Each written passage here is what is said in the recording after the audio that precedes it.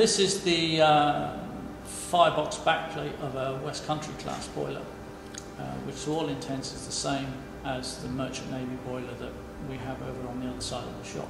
As you can see, we've got these marks here where we firstly identified the positions where there were most corrosion on it. And these were earmarked up for uh, cropping out and replacement. So here we've got the, the firehole door plate, which there was deep corrosion on the firehole door, so that was set for replacement. Having uh, cut sections out of the inside door plate, we revealed that there were further areas of this uh, back plate that required to be renewed. And uh, these were picked up again by ultrasonic in inspection.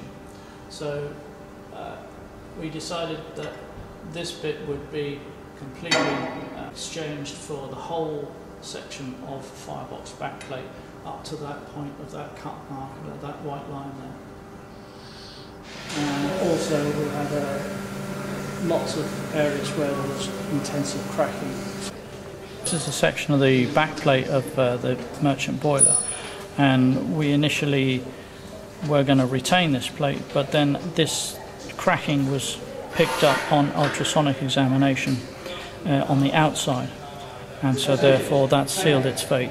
Right on the inside of the firebox, what's known as the door plate, we identified large areas of this on the other boiler, the Merchant Navy boiler, which needed to be removed and replaced. On having removed that, we've also discovered there are further problems which are further up the plate here. So as we cropped and cropped and cropped, we're continually finding more problems further up. So in the end, on the merchant boiler, we finally, if you look at the, the chalk marks, we removed the whole of the door plate.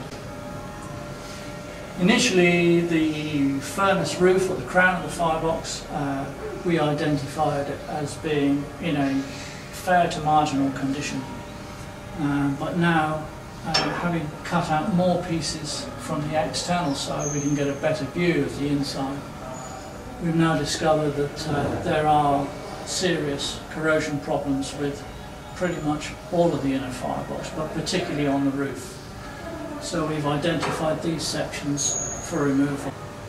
So the corners of the roof section had, having been removed, both sides, they then gave us access to see visually the middle section of the roof, which was just as bad as the side.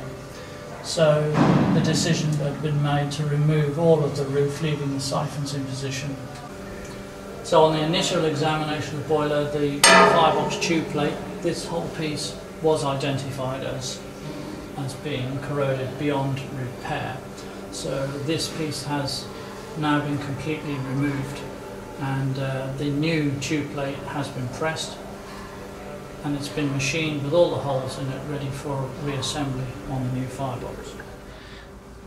Uh, this is the thermic siphon, one of two from the we removed from the Merchant Navy boiler because we identified some areas of the top flange here which were extremely corroded on the water side and you can see them here and here and here. Uh, this is the better one of the two um, but the other one is, is similarly, if not worse than this. Uh, so uh, we are going to cut the bottom section of this siphon off and also the back heel, but now we need to chop off this top flange here and replace this.